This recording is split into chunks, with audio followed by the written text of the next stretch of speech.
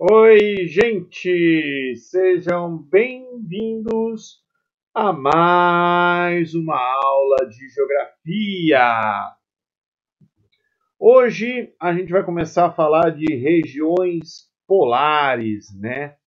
Regiões polares é um lugar do planeta que, que na maioria dos mapas, né, a gente nem consegue ter uma ideia de como é esse lugar, né? Porque na maioria dos mapas, como esse que vocês estão vendo aqui, as regiões polares, né, elas estão meio que distorcidas, né? Aqui em cima e aqui embaixo, né, na Antártida. Então, quando a gente vai olhar, né, para as regiões polares, a gente pensa, né, num lugar que é longe e ao mesmo tempo ele é difícil de entender, ó, numa representação que nem essa, nem tem aqui a marca do Círculo Polar Ártico, do Círculo Polar Antártico, mas é, a gente não consegue né, perceber esse lugar na sua exatidão. Então, a melhor maneira né, de, de entender e de compreender aí as regiões polares é através da perspectiva polar. Né? Vocês estão vendo aqui ó, do lado esquerdo e do lado direito, né, o Polo Norte e o Polo Sul é, no Google Earth. Eu só queria lembrar né, que o Google ele não coloca gelo sobre água, ele só marca né, gelo sobre terra. Então, essas imagens, embora elas permitam uma melhor compreensão do que é o Polo Norte, do que é o Polo Sul, elas não são exatas, né? Porque aqui certamente vai ter um pedaço do interior do Oceano Glacial Ártico congelado, né, coberto aí por uma camada de gelo. E aqui na Antártida, né, essas, esses golfos que existem aqui, é, eles também estão cobertos de gelo, né? Então não é o, o, exato formato nesse momento, né? Tanto do Polo Norte quanto da Antártida. Mas já ajuda a gente a visualizar esse pedaço do planeta. Né? Regiões polares são as regiões dentro dos círculos polares. E, e notem né, que, que além da oposição entre norte e sul, é, o Polo Norte e o Polo Sul, eles têm algumas características né, opostas. Quando a gente pensa no Polo Norte, a gente pensa num lugar ó, cercado de terra, né? Então aqui tem massas de terra cercando água. E no Polo Sul é o contrário, né? A gente vai ter aqui o Oceano Glacial Ar, é, Antártico, desculpa, cercando né, o continente Antártida. Então a gente vai ter aqui água cercando terra e aqui em cima terra cercando água. Essa diferença ela vai ser importante para entender por que hoje né, o gelo do Ártico está diminuindo e o gelo da Antártida está aumentando, segundo indicam aí alguns estudos. É, localização dos polos, né? Os polos, eles, os círculos polares, melhor dizendo, eles são determinados a partir né, da incidência de Sol na Terra, envolvendo aí o eixo de rotação terrestre. Né? Todos os alunos aí do ensino médio já sabem que a Terra exerce aí um movimento de rotação em torno de si mesma, e essa rotação ela acontece num plano inclinado. Né? E a diferença de incidência né, dos raios solares na superfície terrestre, de acordo com esse ângulo de rotação, é o que vai determinar a localização né, do Trópico de Câncer, do Trópico de Capricórnio, do Círculo Polar Ártico e do Círculo Polar Antártico. Mais precisamente, né, tanto o Círculo Polar Ártico quanto o Antártico estão né, na latitude de 66 graus e 32 minutos norte, né, no caso do Ártico, e 66 graus e 32 minutos no sul, né, no caso do Círculo Polar Antártico. É, essa diferença né, tem a ver com a incidência de luz e ela vai marcar aí a ocorrência de dois fenômenos, né? A partir do círculo polar ártico ou antártico, são os lugares do planeta onde a gente vai verificar né, a ocorrência ao longo do ano de períodos com mais de 24 horas de escuridão ao longo do inverno ou com mais de 24 horas de luz ao longo é, do verão. Né? Então aqui eu peguei ó, duas imagens né, que seria simbolizando aí inverno no hemisfério norte, olha que está tudo escuro, né, e, e verão no hemisfério sul.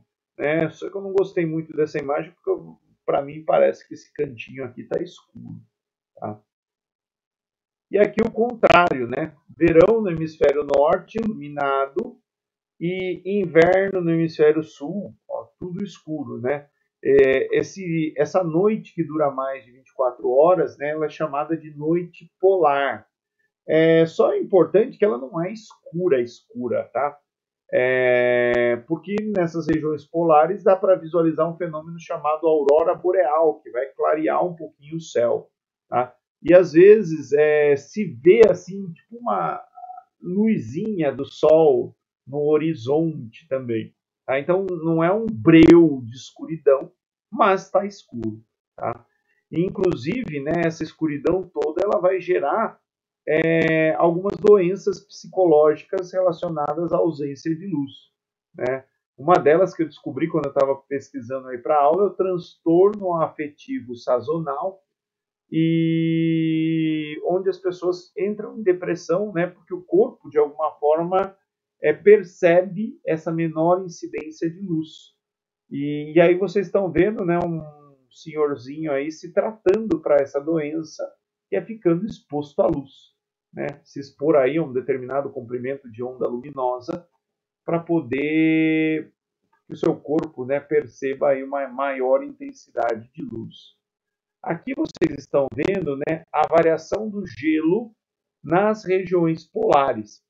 É, percebam né, que a camada de gelo, tanto na Antártida quanto no Polo Norte, é, vai variando ao longo do ano. Né? É, em alguns momentos, o gelo na Antártida ele vai se estender né, para o oceano no inverno, né, e depois esse gelo no mar descongela né, e volta aí só à sua área original. Mas percebam que aqui, ó, esse pedacinho, né, ele é, permanece com gelo sobre a água e é a mesma coisa aqui nesse cantinho. Lá no Polo Norte, ó, a variação do gelo, deixa eu pôr aqui de novo, ela também vai acontecer. Né? No inverno o gelo aumenta né? e no verão o gelo diminui. É importante lembrar que o gelo na Antártida ele é mais espesso do que o gelo no Ártico. Né? Isso acontece porque aqui o gelo está sobre terra aqui o gelo está sobre água, né? Então tem uma diferença aí né, na espessura do gelo, que é bem mais espesso. Tem lugares que pode chegar até 5 quilômetros de gelo né, na superfície antártica.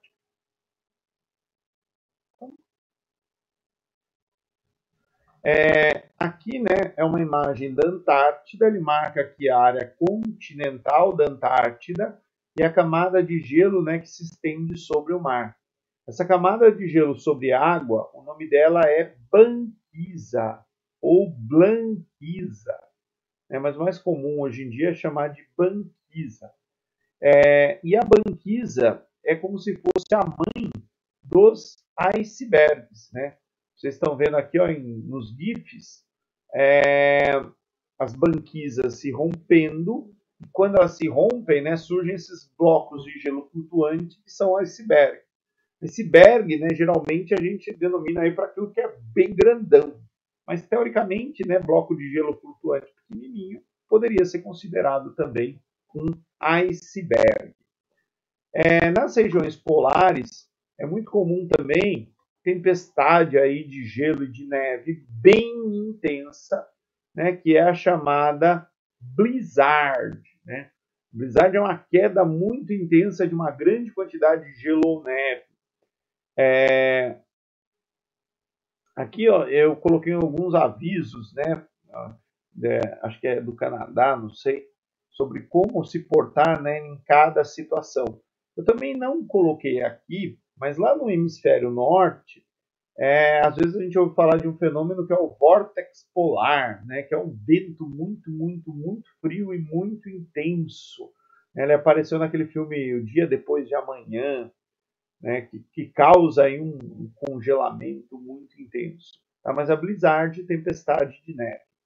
Tá? É, gente, importante lembrar que pinguim não vive junto com urso polar. Tá? Os mamíferos terrestres, eles são típicos ali do Polo Norte, tá? da região do Ártico, e no Polo Sul tem alguns mamíferos aquáticos, é o caso de foca, morsa, que também tem lá no Polo Norte, mas não vai ter é, no Polo Sul. Só nos desenhos animados, né, que urso polar e pinguins são amigos. Tomem cuidado com essa diferença. Aqui eu coloquei para vocês uma matéria né, sobre o Polo Norte derretendo, né? E aqui é duas imagens mostrando né, a camada de gelo que existia em 1984 e depois de 32 anos, né, como que está essa camada de gelo? Ela está menos espessa e mais estreita. É, do outro lado, né, a Antártida está congelando. Isso tem a ver né, com aquilo que eu falei. Antártida, tá, o gelo está sobre terra, né, e lá no Ártico o gelo está sobre água. Daí tem uma série de fenômenos, depois vocês dão uma olhadinha na reportagem.